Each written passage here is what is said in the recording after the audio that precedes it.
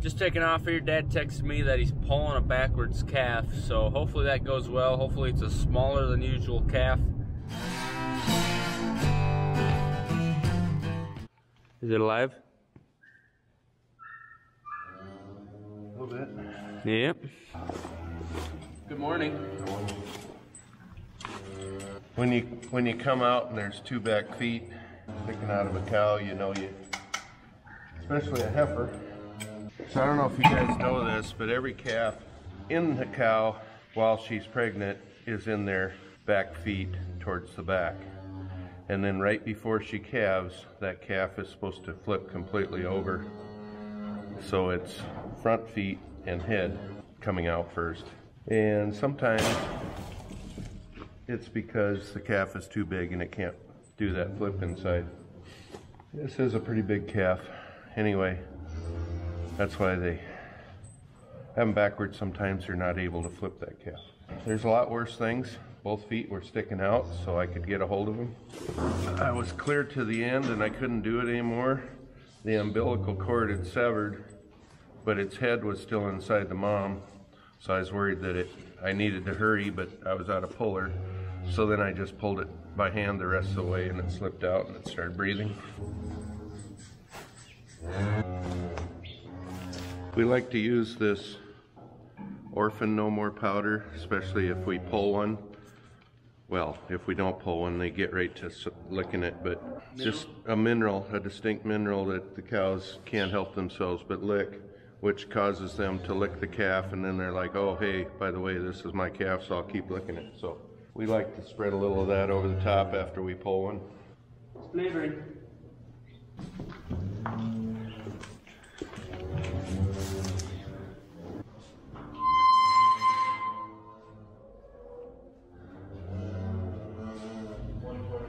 Head to the next barn, and see what's going on. Dad says he bets there's two or three new calves in there. We got a really big day. Really big. We're moving a bunch of pairs out of here. We gotta work on two barns. They got dirty. We got a fashion little calf thing over at the place we're bringing pairs to, and we're calving, pulling calves. It's gonna be a long one, but so far so good. Bull. Looks like we got at least two new 070. It's a heifer. We got some treacherous ice to cross here.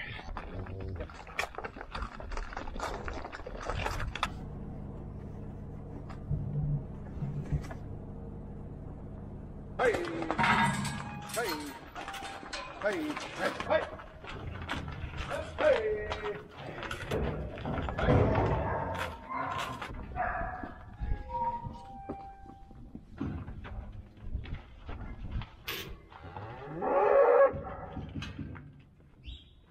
seven pair loaded up, and there's five over there already. So we can bring quite a few more. Right now I gotta deal with a skunk over here that got lead poisoning the other day.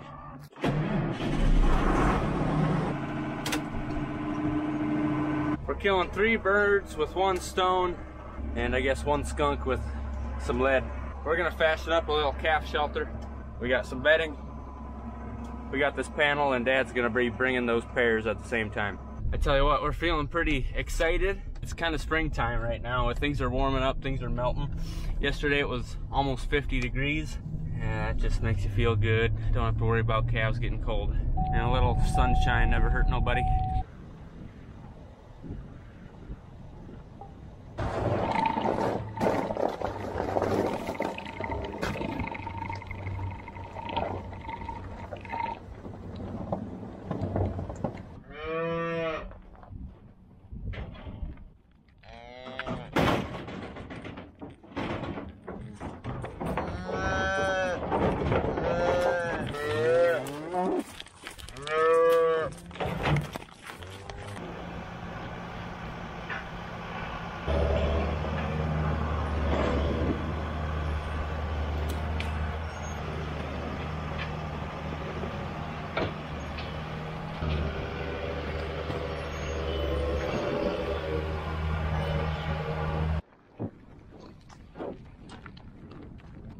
of bounds.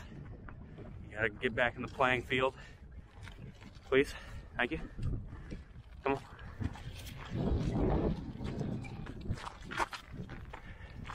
That's it. That's it. At least it's a pair. A good pair.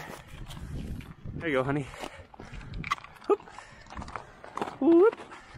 All right. We're gonna fill this old garage.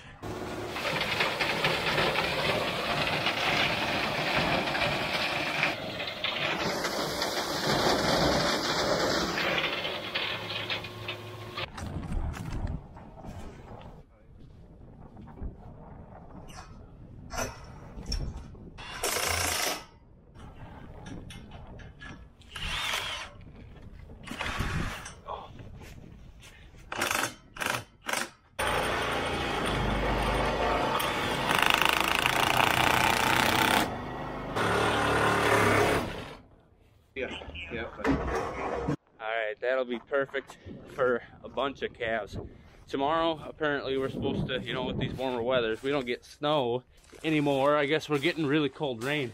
And so I didn't realize this roof was that bad, but if they stay on this side, it'll be better. You'll have some sort of shelter at least. We obviously don't want the cows to come in here. If you put three cows in here for about five hours, they would have poop and pee everywhere and be totally ruined, but you could probably put 30 calves in here. They could be in there a week and it wouldn't start even getting stanky yet. They got some thick bedding. And I'm sure they'll find it later today. They're pretty adventurous.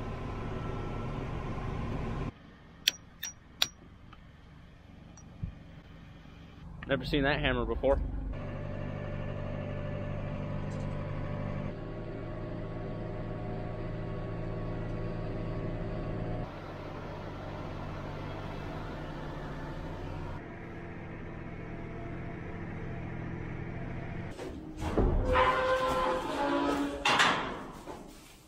Got issues.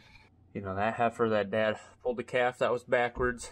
She's just not interested in the calf. Didn't lick it off at all, and that's just what happens when you pull a calf. Sometimes they just don't care. They get confused.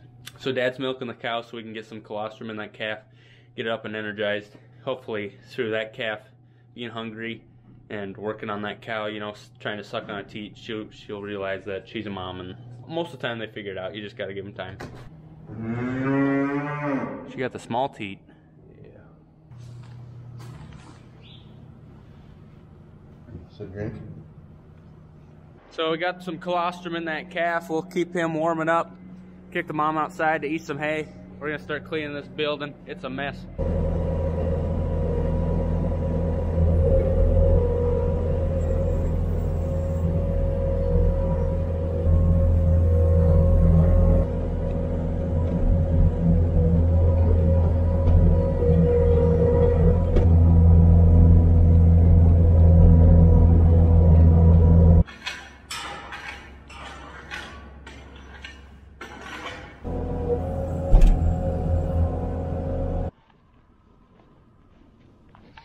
Are you guys getting sick of the barn cleaning videos? We do do it every week. Part of life, part of calving and barns. You gotta clean them. How you doing? You poor thing. Nobody licked you off. Nice and warm though. Got some milk in it. Don't think it's stood yet. Hey. You alright?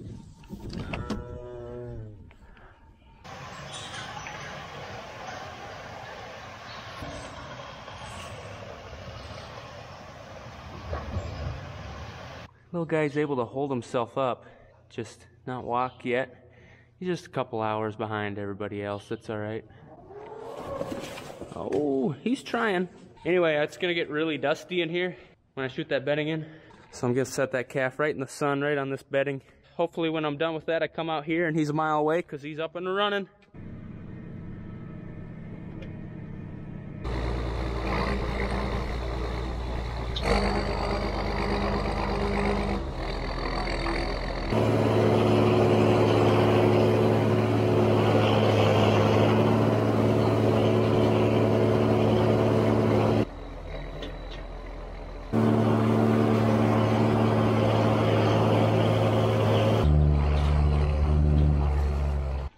He's made it about three feet.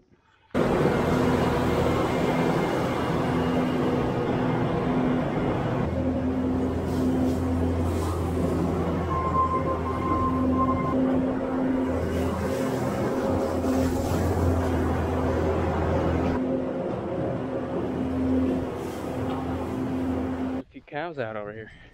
They're gonna remember this day. It was one of the most exciting ones. Ran out of a gate, ate on a bale.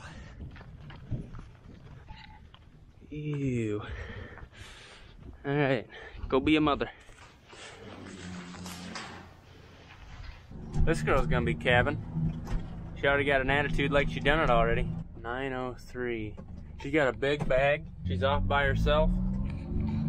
Got her tail up. There's all pretty big signs she's gonna be calving. I don't know why she wants to do it in that snowbank.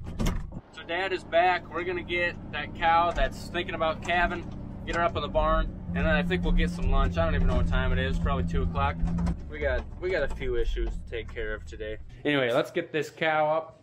She's gonna be calving here really soon. The cow's got some legs sticking out of her already. We saw a cow that needed up and we got it up and I can see this cow that we were watching. She just had the calf. So we're gonna switch gears, get the sled and pull that pair up. Back when we first started using this, we'd take these hooks and we go like that on that rope and we'd go like this. That didn't hold worth crap. Just tie a knot in her.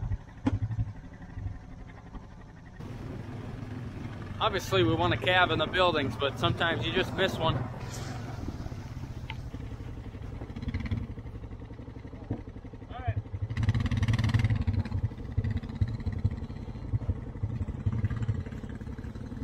Good mama, other than calving in a mud hole, but you know, there's not too much else out here besides a mud hole.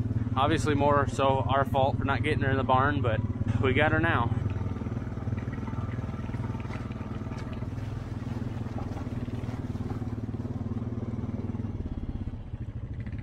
Forgot the iodine and the optimizer from this morning out here.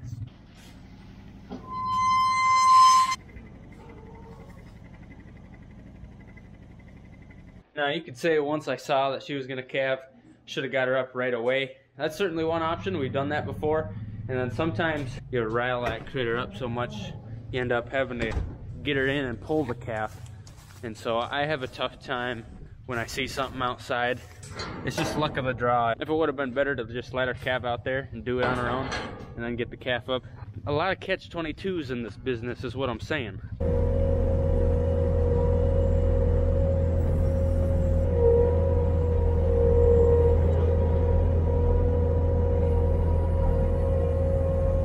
Well, we get a big pile of manure. Dad's spreading that last load. He should be back pretty soon. Getting close to 3 o'clock. I missed lunch. Don't do that very often. Sure is a nice day. Look at all these dry spots over here. Well, Dad's just pulling up. We'll get her backed up over here. And then he's actually going to take off. He bought a bale feeder because we got tons of them that are just getting real bad. So he's gonna go pick that up. It's gonna rain tomorrow and then freeze. And that's another reason why we're cleaning both these buildings other than they're both dirty. But we got a rain coming tomorrow. Just seems like we're tackling a lot of stuff all in one day.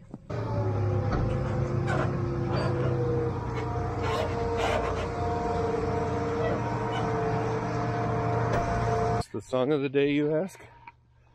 Uh-huh.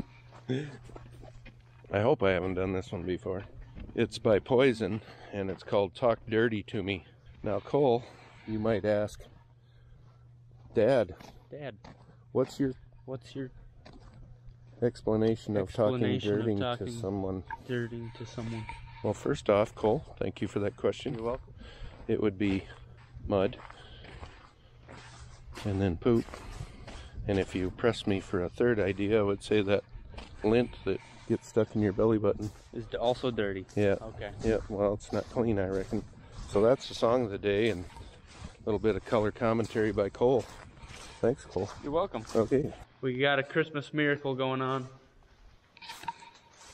The calf is standing. Now, if only somebody would love it and let it suck. A little weak in the front knees, ain't he? Mm-hmm. Oh, and that one's standing up too that we just brought in from outside. Good deal. Okay.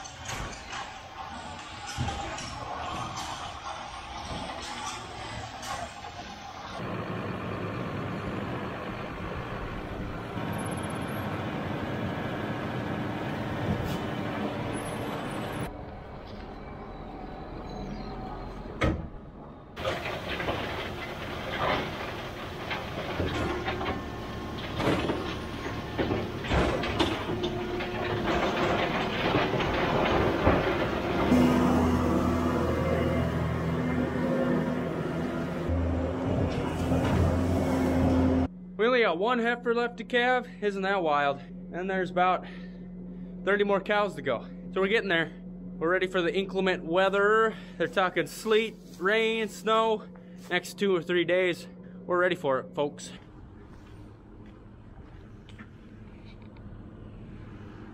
Looks wide enough. They're gonna be able to reach it. We'll show you in a minute why we needed to go and buy a new one of these.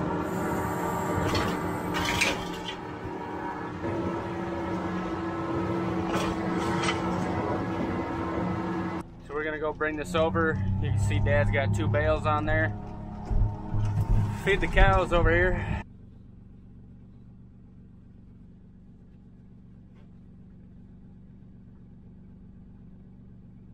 just right off the bat, you can see tons of waste right here. It's because this their big blowout. Look at this big old blowout right here. Now I repaired it. You can see I did all that over there, but they just put their front hooves up here and just rip it off. So yeah, it was time. It was time to get a little upgrade. Hopefully we don't dent it too much on the first day.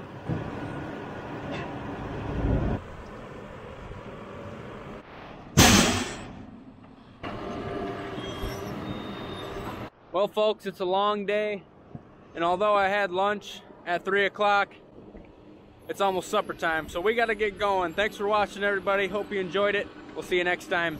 Have a good one.